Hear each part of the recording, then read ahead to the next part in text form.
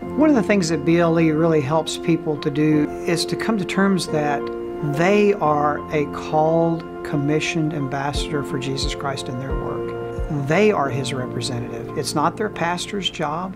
It's that God has specifically, uniquely placed them where they are so that they can represent him in what they do in their work. You can be in a for-profit company and use that in a way that's impactful for God. It's turned into prayer groups for us. Students, faculty, staff all have participated in the BLEs, uh, all, all have participated in prayer groups. It also turned into a worship service that we do, one at each campus each month. Uh, we've had people come to Christ right in those worship services. It all started with BLE. BLE standards and our standards are the same because the one thing that's true is based on the Bible.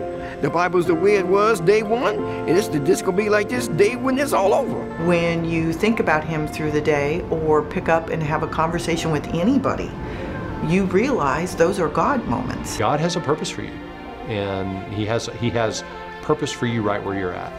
People are going through uh, adversities, and those adversities uh, God uses to call them closer to them, and then He trains the people who work here to go help facilitate that and mentor that and lead those people to Christ. It really is our duty to reach out to the lonely and be there. He wants us to show His love in how we treat each other. And so if we can be an example of Him in, our, in the way we live and the way we go about our work, then it'll reflect Him. When you get the vertical alignment and you know how to act, then, you, then your job is not that bad. Then you find out what your real job really is.